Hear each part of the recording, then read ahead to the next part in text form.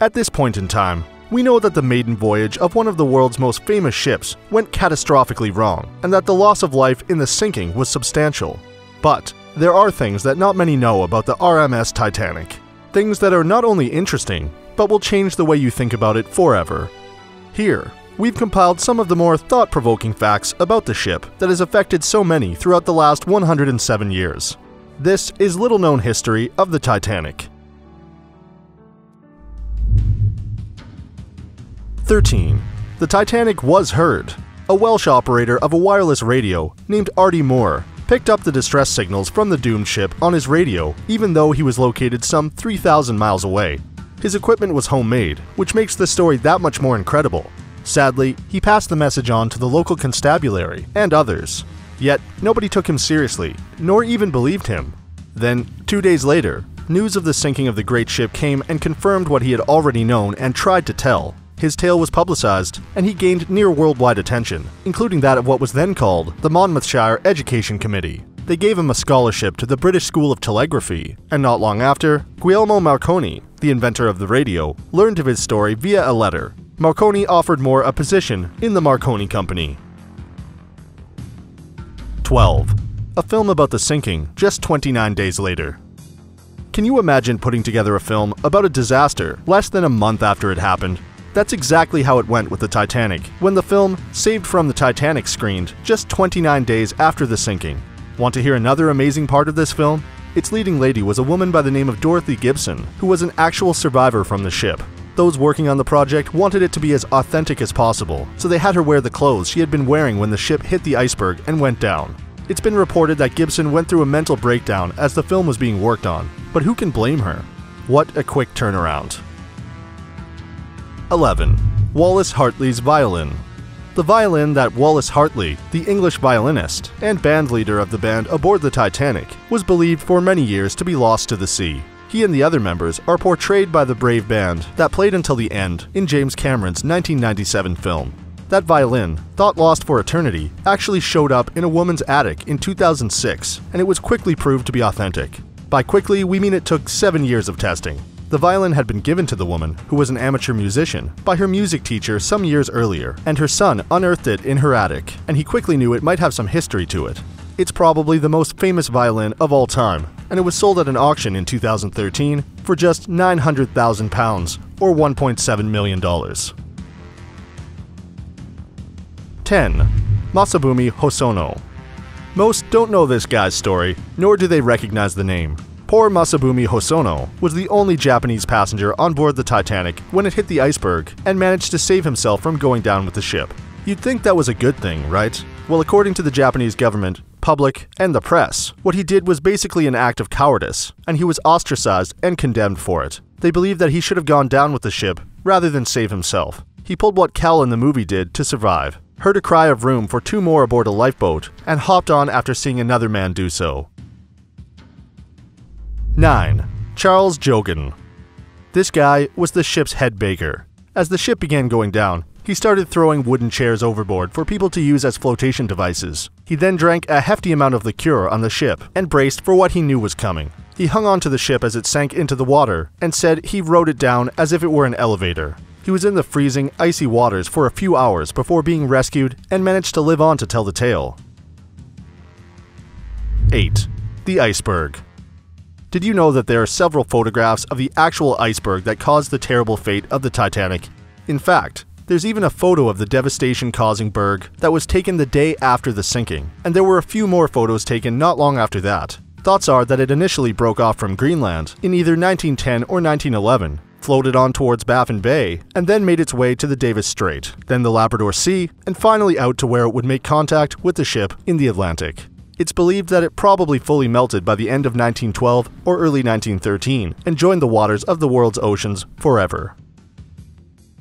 7. No binoculars in the crow's nest. David Blair, a mariner who was supposed to be aboard the Titanic on its maiden voyage, was reassigned to another ship by the White Star Line just before its sailing. Blair accidentally ended up holding on to a key to a storage locker aboard the ship as he left, which, it seems now, might have been a terrible mistake.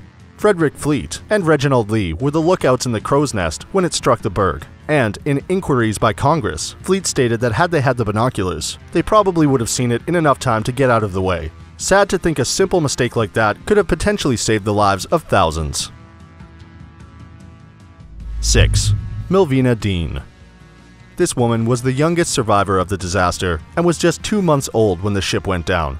She, her mother, and her brother were some of the first third class passengers to get off the ship and into a lifeboat. Her father sadly passed with the ship, and Eliza Gladys Millvina Dean passed in 2009 at the age of 97. Her ashes were spread where the Titanic had set sail, the Southampton docks. 5. The ship split in two. Yes, yes, we know. You want to tell us that? Duh, everybody knows the ship split in two when it went down. But did you know that many survivors, when giving their accounts of the night's events, told of how the ship had split in two, but a lot of people didn't believe them or just dismissed their claims? They ended up listening to the highest ranking surviving officer on the ship, who said the ship slid down in one piece. Those poor people were right, and they were told that their memories of what happened were incorrect. What a shame. 4. The famous discovery by Robert Ballard. Robert Ballard was a professor of oceanography and United States Navy officer who spent quite a bit of time searching for the Titanic wreckage. He was aboard a French research ship, Le Suroît, in the summer of 1985 searching for it, but then the research ship was recalled. He was then transferred to RV Knorr, where he wanted to use the new underwater vehicle, Argo, to look for the ship. He had approached the Navy about financing this search, but they weren't interested. Although they were interested in finding two of their missing submarines, the USS Thresher and the USS Scorpion. They agreed to help him finance his endeavor, but only if he first investigated and searched for their subs, which he did, and he found them by following a debris trail that was caused by the implosions of the subs due to the pressure. He was then given the green light to look for the Titanic, which he ended up finding on September 1st, 1985. 3. Isidore and Ida Straus. Straus was the co-owner of Macy's department store and perished alongside his wife on the ship when it sank. He and his wife, Ida, had spent the winter in Europe, mainly in southern France, at Cape Martin. Colonel Archibald Gracie IV offered to ask if spots for Isidore and Ida could be made aboard a lifeboat, but Isidore refused to go before other men, and while there were still women and children on the ship. Ida was then offered spots on lifeboats, but decided to stay on the ship with her husband. Ida made her maid, Ellen Bird, get on a lifeboat and then gave her her fur coat and said she would not be needing it. They were last seen standing arm in arm on the deck together. Isidore's remains were located, Ida's were not. 2. Charles Herbert Lightoller. Now, the name may not ring any bells for you, but this man was not only the second officer on board the Titanic, but he was a significant part of history and other events as well.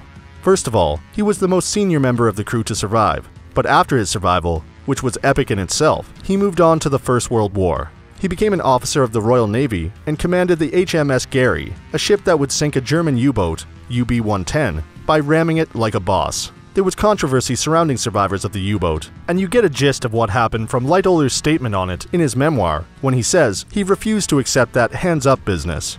Then, in the Second World War, he didn't allow for his yacht, Sundowner, to be requisitioned for the Battle of Dunkirk, and instead sailed himself over into the action and repatriated 127 British soldiers. His action sailing one of the battle's lifeboats earned him a mention in official reports, and he inspired the character Mr. Dawson in the movie Dunkirk. We've learned a lot about the Titanic already, and we still have one more interesting fact to go. But first, we'd like to ask you, did you know any of these crazy stories prior to watching this video? Are we missing any that you think is vital to the story of the tragic sailing? Let us know in the comments below. 1. A lot of fame was almost on board. While everyone's life is important, there were almost more famous faces on the ship the night of the sinking that would have grabbed even more headlines. JP Morgan, the banker, had a suite on board the vessel booked, but at the last second, he decided to remain in France at his resort just a little longer. Guglielmo Marconi, the inventor of the radio and telegraph who we mentioned earlier, was offered a free trip on the ship, but he elected to forego the voyage and sailed aboard the Lusitania instead. Theodore Dreiser, an American novelist, had planned to be aboard, but a publisher talked him out of it, saying he should purchase a ticket on a cheaper boat instead. Milton S. Hershey of Hershey's Chocolate Company had a ticket in hand but decided to forego and possibly avoided a terrible fate. And one of the wealthiest men in the world at the time, Alfred Gwynne Vanderbilt, had plans to be on the ship during the voyage, but for some reason didn't make it or decided against it. Sad fact, Vanderbilt perished three years later aboard the RMS Lusitania when it sank after being hit by a torpedo from a German U-boat. If this video taught you anything interesting or new, do us a favor and give it a like. Subscribe to our channel below or by clicking on our logo right here on this screen so that you never miss any of our amazing uploads. And be sure to check out this next video we picked out just for you.